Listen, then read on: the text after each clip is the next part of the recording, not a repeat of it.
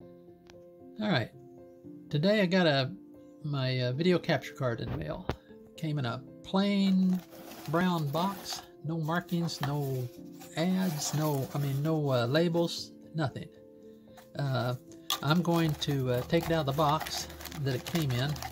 I'm going to unwrap it all and then I'll show you the parts here. And then after I do that, I'm going to hook it up to the computer and then uh, we'll check it out see how it works. Okay, here's everything in the box. Got uh, instructions. Uh, have uh, the capture card, uh, a USB, it looks like a USB 3 uh, cord, and it's fairly long, and um, HDMI uh, cord, and on the card it says 4K 60 hertz RGB 444 4K HDR USB 3 game card game card adapter. On uh, this end it's got uh, USB 3 that goes into the computer.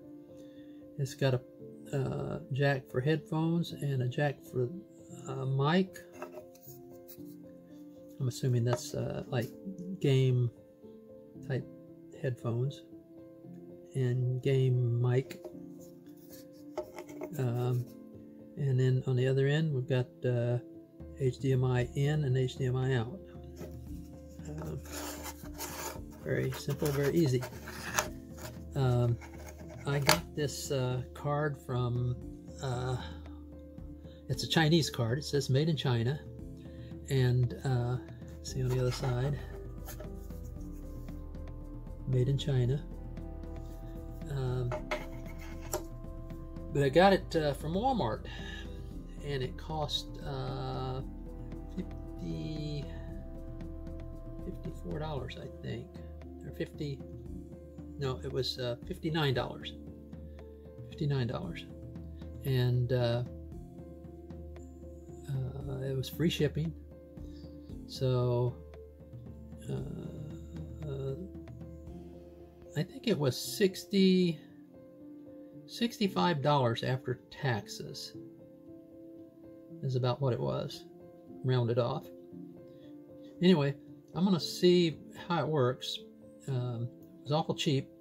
Just got us for something that has 4k throughput it's supposed to be 1080 it said that it does 1080p at 60 frames per second, but I don't know. Sounds a little fishy to me. So we'll give her a try and uh, see how it works. All right. I'll let you know. Okay, I have the the uh, game capture card uh, connected to my uh, uh, computer and uh, my game system. The input goes from the uh, PS4 to the input on the uh, game card. The output, the HDMI output goes back to the monitor of the game, game, game system. And the USB goes to the uh, USB port on the computer. And uh, I have the uh, uh sound um, connection, um, a microphone input uh, connected into the mic connection of the sound card. I have to get into that later because that's uh, very uh, complicated. I had to do some special wiring to get my uh, chat voice uh, to hear my voice and my uh, teammate's voice recorded onto the stream uh, if you don't do if you don't do some special wiring on your headset and wire it into the game card, uh, you don't get the uh, your uh, chat or your uh, your uh, your voice and um, what you're talking to your teammates back and forth. It, it, doesn't record that, so I'll show that in another video because that's pretty complicated. But anyway this device is excellent. Uh, I haven't found anything at all wrong with it uh, for $59. Uh, it's great. uh, very good quality.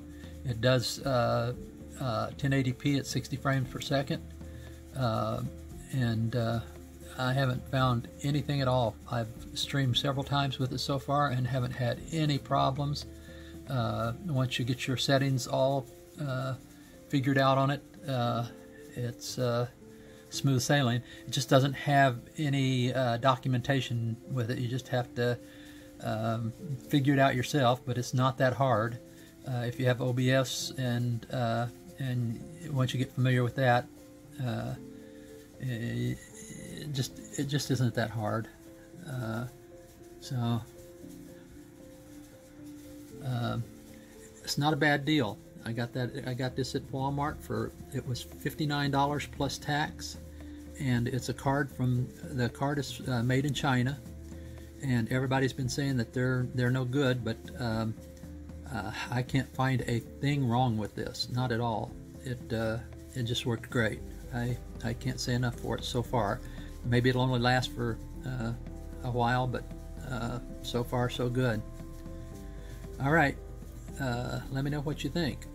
I'll talk to you later. Good streaming.